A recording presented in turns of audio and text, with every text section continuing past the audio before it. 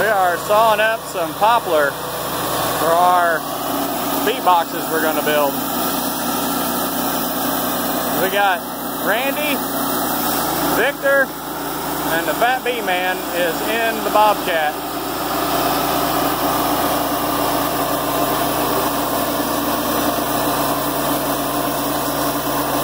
Right out of some logs.